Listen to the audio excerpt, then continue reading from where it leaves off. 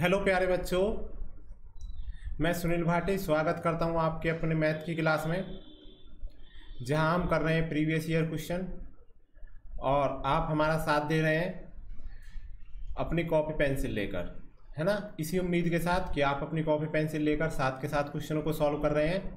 हम इस वीडियो को आगे बढ़ाते हैं और कुछ अच्छे क्वेश्चन, अच्छी ट्रिकों के साथ करेंगे। तब तक आप लाइक और शेयर कर दीजिए। फटाफट लाइक के बटन दबाइए, ज़्यादा से ज़्यादा शेयर कीजिए। और जो भी चीज़ें समझ में ना आए या कोई प्रॉब्लम हो, वो सब आप इसमें कमेंट सेक्शन में हमसे पूछ सकते हैं। साथ के साथ हम लाइव क्लास भी लेके आएँगे। लाइव क्लास में आप जो भी क्वेरी हो, वो सारी क्वेरी हमसे पूछ सकते हैं। तो बने रहिए हमारे साथ और करते रहिए अपनी प्रैक्टिस मैथ की, जो जिससे कि आपका मैथ एक अच्छी स्थिति में हो और ज़्यादा से ज़्यादा आपके मार्क्स आए। तो लेते हैं सबसे पहला क्वेश्चन आज की वीडियो का पहला क्वेश्चन एक धनराशि पाँच वर्ष में चक्रवर्ती ब्याज पर स्वयं का तीन गुना हो जाती है। तो कितने वर्षों में यह स्वयं का इक्यासी गुना हो जाएगी?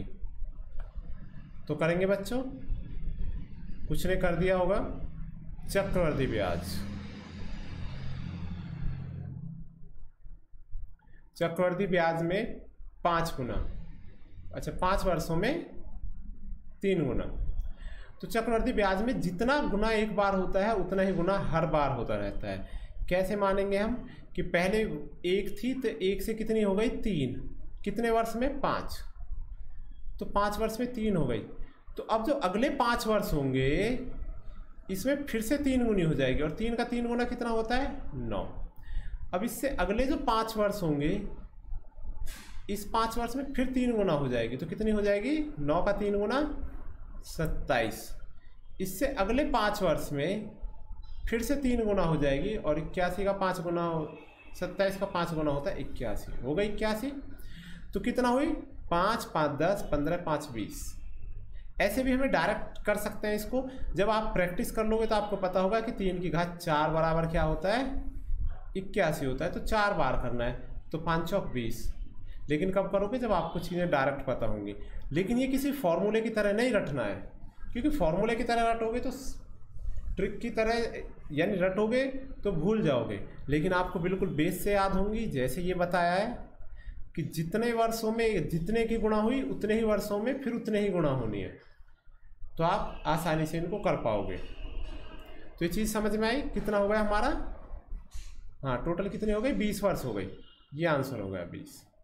पाँच पाँच चार बार है तो बीस वर्ष हो गया आगे आते हैं बच्चों। अमित एक वस्तु 350 में खरीदता है और 400 में बेच देता है। तो कितने कमा दिए जी? पचास रुपये कमा दिए। है ना? कितने पर? क्रय मूल्य पर हमेशा। 350 पर। परसेंट निकालने के लिए गुना सौ। ये ज़ीरो कट गई, सात से, पाँच एकम पाँच पाँच सकते और सात से कटेगा तो कितनी बार कट जाएगा?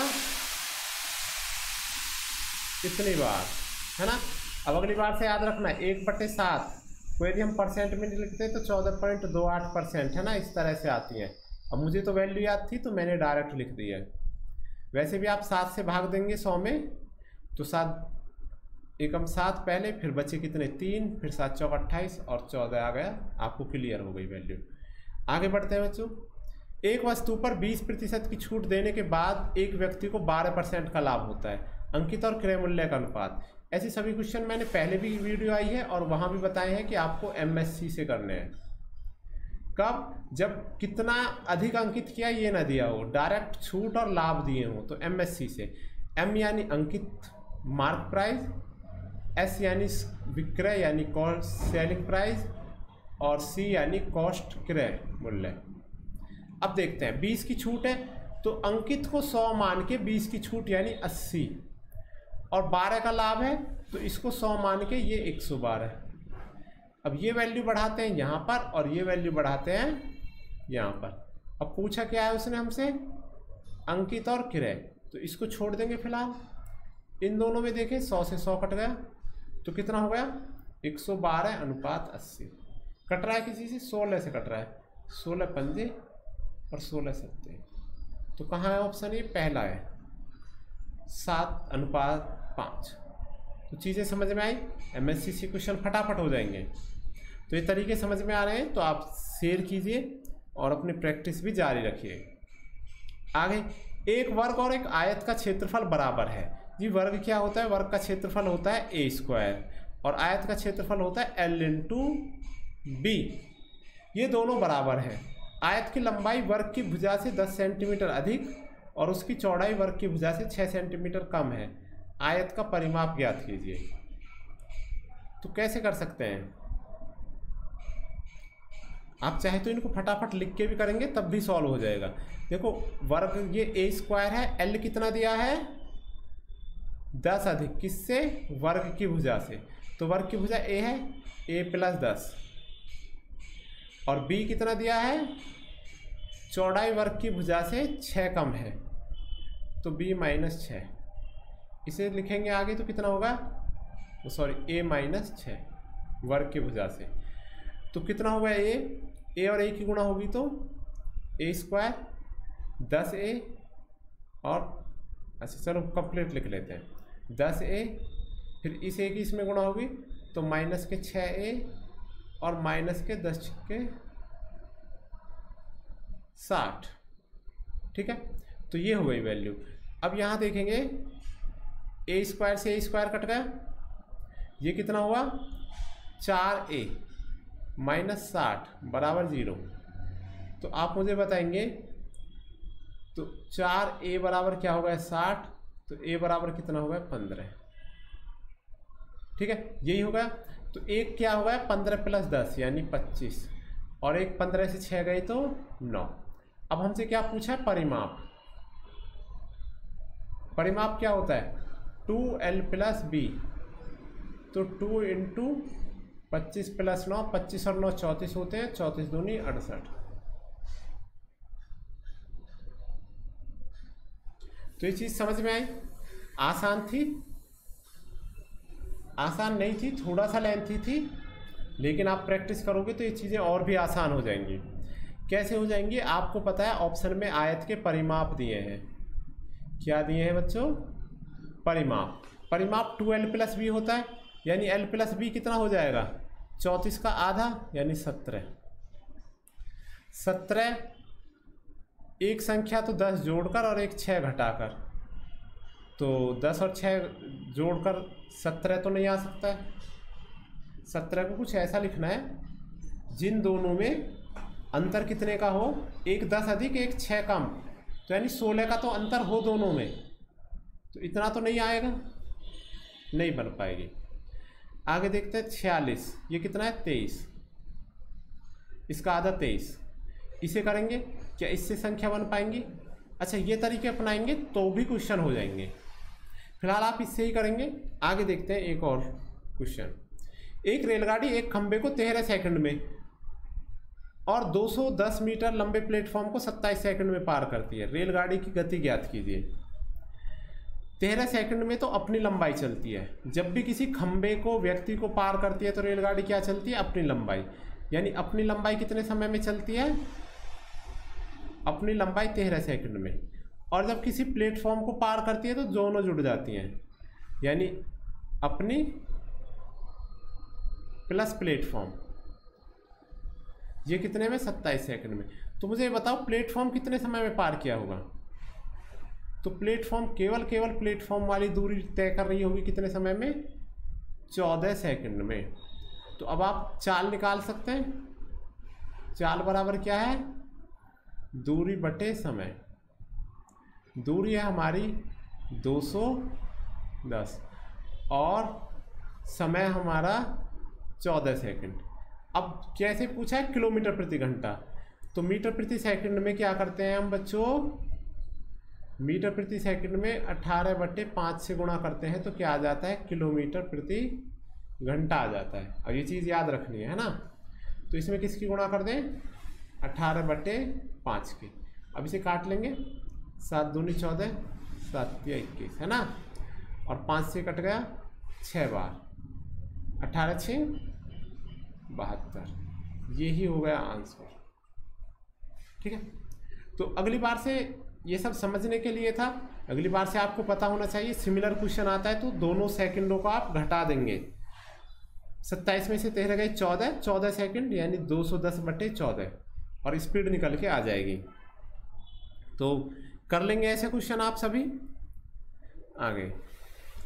पाँच वर्ष पहले एक्स और वाई की आयु का अनुपात दो तीन था और पाँच वर्ष बाद यह अनुपात तीन चार हो जाएगा तो एक्स की वर्तमान आयु ज्ञात करनी है। अच्छा जी, कितना था हमारा? दो अनुपात तीन था। ये था पाँच वर्ष पहले। सपोज़ यहाँ पे कोई वर्तमान होगी, है ना? वर्तमान। तो पाँच वर्ष पहले। बस समझना है? अगली बार से तो ये सब लिखना आपको नहीं पड़ेगा। जब आपको समझ में आ जाएगा। अब कितना है? तीन और चार। तो देखिए, दस वर्ष का अंतर आ गया और अंतर कितना है? एक एक पॉइंट का। तो हमको पता लगा एक पॉइंट बराबर दस वर्ष। देखो, ये भी एक पॉइंट बढ़ा, ये भी एक पॉइंट बढ़ा, जबकि समय कितना हो गया? दस वर्ष। तो एक पॉइंट बराबर दस वर्ष, यानी पाँच वर्ष पहले ये कितना था? दस की गुणा हो जाएगी तो ये बीस था और ये तीस था।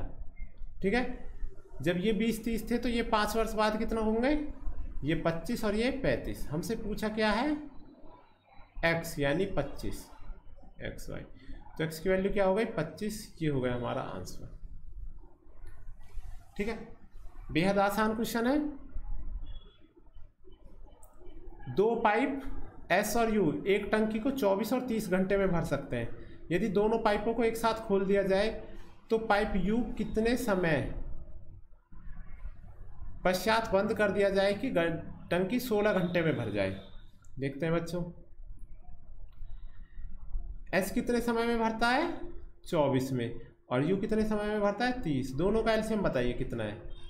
120 एल्सियम आएगा, ये पाँच, ये चार। यानी कि एस कितना करता है? पाँच। और वी कितना करता है? यू यू करता है चार चार काम। अब क्या कह रहा है वो? कि टंकी कितने समय में भरे? सोलह घंटे में। और बंद किसको करें? यू को। तो एस तो चलेगा ना पूरा? एस कितने समय में चलेगा? एस सोलह घंटे चलेगा। तो सोलह घंटे में कितना काम करेगा? सोलह गुना पाँच, यानी कि अस्सी। अब यदि अस्सी काम करेगा तो शेष कितना काम बचेगा? 120 में से 80 माइनस कर देंगे। हाँ 80 माइनस करें तो शेष कार्य बचा हमारा 40 अभी 40 किससे कराना है? u से। u से। 40 करा यूनिट। तो 40 बट्टे चार यानी कि 10 तो 10 घंटे बाद u 40 काम कर देगा।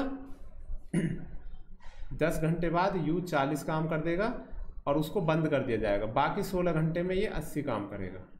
तो आपका आंसर हो गया दस घंटे। तो चीज़ समझ में आई है? आसान है, फिर से समझ लीजिए। चौबीस तीस का एल्शियम ले लिया, एक सौ बीस, पाँच और चार प्रति घंटे कार्य आ गए। एस ने सोल सोलह घंटे में टंकी भरी है और एस को बंद नहीं किया। तो एस ने तो सोलह घंटे काम किया ना? तो सोलह पंजे अस्सी। अस्सी कार्य उसका हो गया। शेष जो बचा चालीस, वो किसने किया? यू ने। तो यू को चालीस को करने में लगते हैं दस घंटे। तो आज के लिए यही इतने ही। और हम अगली वीडियो में फिर करेंगे अगले क्वेश्चन कुछ अच्छे क्वेश्चन, अच्छे ट्रिकों के साथ। तब तक आप इसको लाइक कीजिए, शेयर कीजिए और अपनी प्रैक्टिस जारी रखिए। तो थैंक यू वेरी मच मिलते हैं नेक्स्ट वीडियो में.